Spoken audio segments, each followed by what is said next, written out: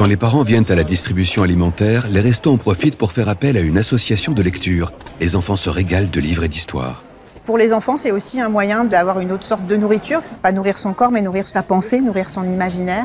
Je fais des rêves extraordinaires avec, des, avec le livre que j'ai lu. C'est Maman Ours. On a vu aujourd'hui hein, que les tout petits bébés sont curieux, sont avides de récits et d'histoires. Pour certains, euh, ça peut être la première rencontre avec un livre. On a vu des regards de parents qui posaient un œil un peu intrigué euh, ou émerveillé sur leur bébé, parce que leur bébé les étonne de s'intéresser si petit à des histoires. Ouais. Il y a une progression des enfants qui, euh, qui sont de plus en plus familiers avec les livres, qui tout petits déjà, ils vont vider les paniers pour aller choisir le livre dont ils ont envie. Oui, mais c'est bottes.